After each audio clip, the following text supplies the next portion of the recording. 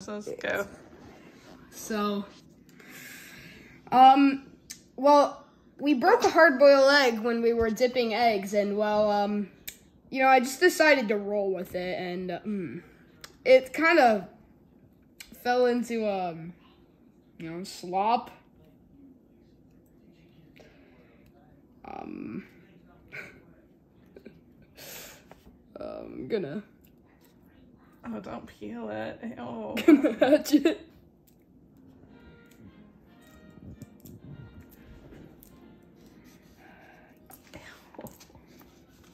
I'm gonna go. Uh, so this might take a minute. So, how was your day, guys? Hmm, All right, good. I hope so. Um.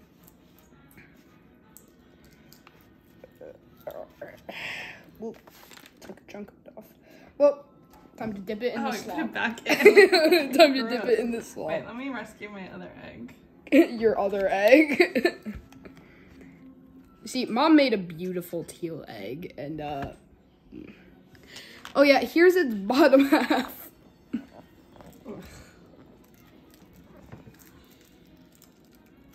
ASMR.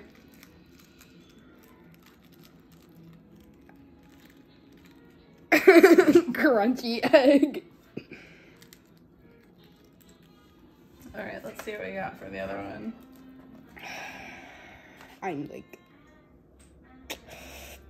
it's like poop brown. Ew. Let me see the inside. Ew. Now that looks yummy. Ew. It smells like a poo. Ugh. And then I'm gonna put this thing in my ASMR egg. That.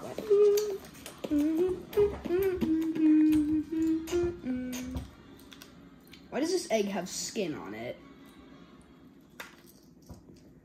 My egg has skin. Please explain to me why my egg has skin.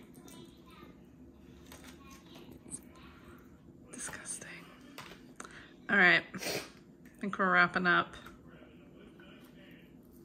Happy Easter.